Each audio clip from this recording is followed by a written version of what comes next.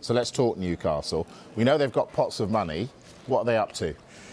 Yeah, so this is one that we, we briefly mentioned yesterday. Newcastle United in talks with Real Valladolid over the signing of their right back, Ivan Fresneda. Now, we know that Newcastle United have scouted Fresneda on a number of occasions, including last Friday's match against Real Madrid. Even though they lost to Real Madrid, his stats were very good and he did impress uh, a lot of people who are watching that game.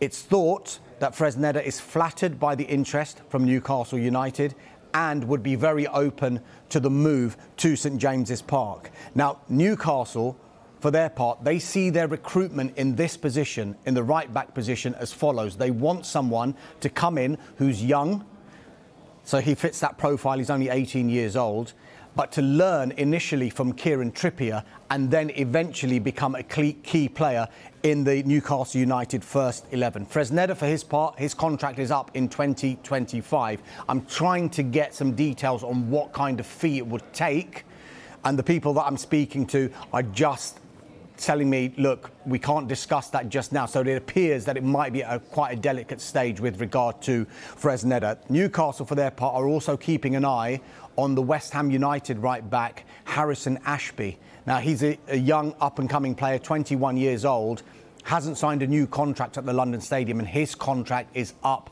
in the summer. Now, Newcastle United, their approach has been quite consistent because what they want to do, they don't just simply want to just go out for the big names and buy big for big money. They want to build organically, hence trying to bring in players like Fresneda and the interest in Harrison Ashby as well. And it appears to be working at the moment.